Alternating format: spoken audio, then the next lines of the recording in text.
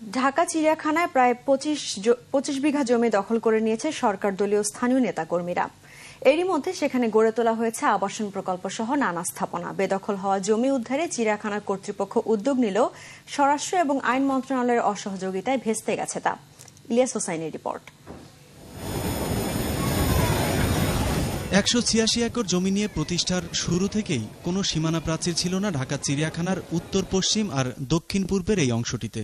আর এই সুযোগে প্রায় পঁচিশ বিঘা জমি দখল করে ঘরবাড়ি আর দোকানপাট সহ আবাসন প্রকল্পের রমরমা ব্যবসা করছে একটি চক্র। বছরখানেক আগে প্রায় চার হাজার ফিট সীমানা প্রাচীর দেয়া হলেও এখনও অরক্ষিত রয়েছে প্রায় দু হাজার ফিট সীমানা। তথাকথিত কিছু লোক যারা কিছু কাগজপত্র দেখায় যে তারা এই চিড়িয়াখানার আমাদের জায়গা সিএস আর এস এবং যে বর্তমান জরিপ যেটা, সেটাতে দেখা যাচ্ছে। আমাদের জায়গা আমরা চিরকালেই এই পর্যন্ত চিড়িয়াখানার সৃষ্টি লগ্ন থেকে এটা চিড়িয়াখানার জায়গায় ছিল কিন্তু বিভিন্ন হুমকি দমকি তারপরে বিভিন্ন ধরনের কম্প্রোমাইজ অনেক ধরনের প্রস্তাবে ইয়ে করে। পুলিশ ডিপার্টমেন্ট বলেন আইন শৃঙ্খলা ডিপার্টমেন্ট বা অন্যান্য যে সহযোগিতাগুলি সেখানে কিছু কিছু সমস্যা দেখা দিচ্ছিল মৎস্য প্রাণী মন্ত্রণালয় তো আমাদের আহ, নির্দেশেই আমরা এই ভূমিগুলো দখলমুক্ত করার জন্য চেষ্টা করছি। সাথে সাথে যদি স্বরাষ্ট্র মন্ত্রণালয় এবং আইন মন্ত্রণালয় আমাদের মন্ত্রণালয়কে সহযোগিতা করে তথা আমাদেরকে যদি সহযোগিতা করে তাহলে হয়তো প্রশাসনের মাধ্যমে আহ, প্রশাসনের মাধ্যমে এবং আইন প্রয়োগকারী সংস্থার মাধ্যমে আমরা অচিরেই আহ, এই আমাদের দখলকৃত জমিগুলো হয়তো উদ্ধার করা সম্ভব হবে বলে আমি মনে করি। দখলকারীদের অবশ্য দাবি তারাই বৈধ মালিক। জমিটা হলো কি আপনার শোনেন এটা আমরা সম্পত্তি।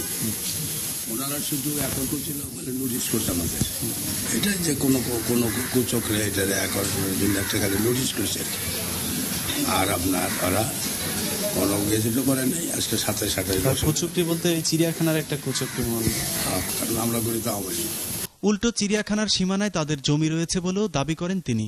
যে বাড়িটির উপর দাঁড়িয়ে আছি তার অর্ধেক চিড়িয়াখানার জমিতে আর বাকি অর্ধেক ব্যক্তি মালিকানা জমির উপর।